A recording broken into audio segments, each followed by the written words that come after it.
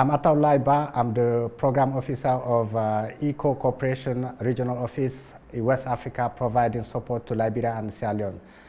Uh, the World Organization have already stated that uh, uh more than 5,000 uh, uh, Ebola death cases in West Africa.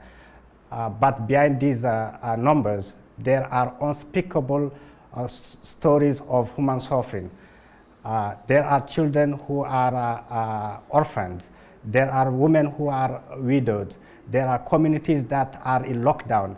There are health systems that are crumbling. There are economies that, that are falling apart.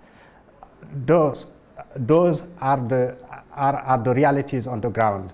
And uh, uh, there, there are a lot of uh, food insecurity. And that's why it's urgent to, to act now.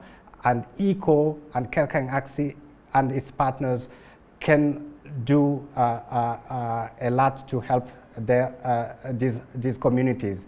One, they can provide support to the uh, affected communities by providing them emergency food, of, food, by providing them sanitization kits, by uh, educating them through sensitization and uh, awareness raising, by uh, uh supporting health uh, healthcare system, uh, by also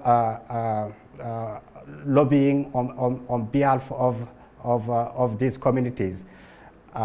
children need to be traced and reunited with their fam families. and this call is urgent and we need to act now to stop this human suffering.